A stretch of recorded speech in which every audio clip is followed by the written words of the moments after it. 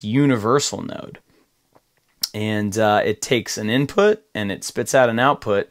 And I thought maybe this is what I'm looking for, and maybe this will convert whatever you put into it into whatever the the node is set to.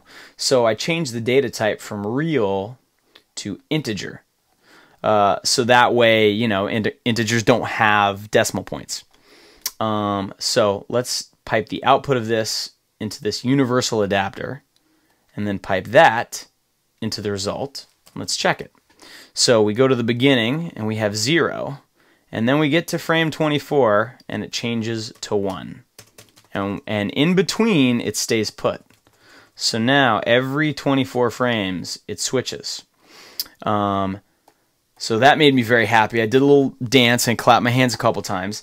The next thing we need to do is take this and multiply it by 6. So we divided by 6, got rid of the decimals, multiply it back by 6 to get back to our original number. And by doing that, we've basically cut out all those intermediate numbers. So we're going to make a new node, XPresso, calculate, math.